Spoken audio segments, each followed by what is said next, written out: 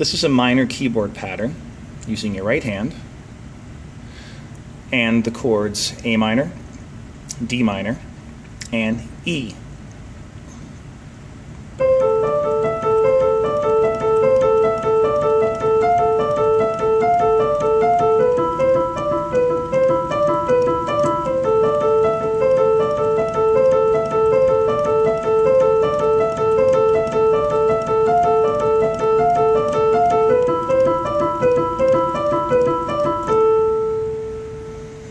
Okay, here's how you play it. You get your A minor chord, and between the C and the E, we're going to use that third note, which is a D. We're going to alternate using those three notes. We're going to alternate using the lower note, or the A. Watch.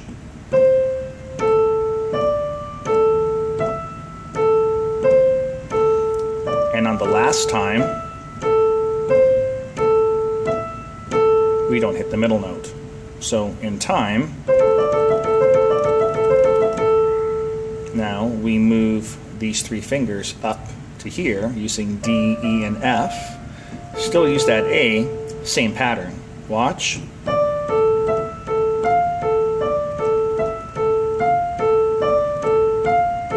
And that third time, or last time, we don't use the middle note again. So in time,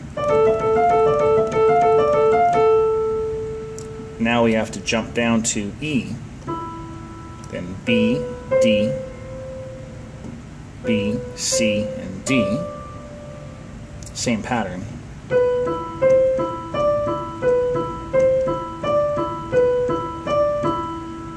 Or in time. And then back to the A minor.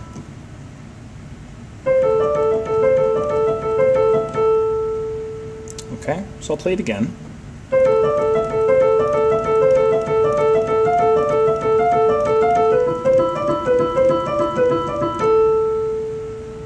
And you can repeat it as many times as you'd like.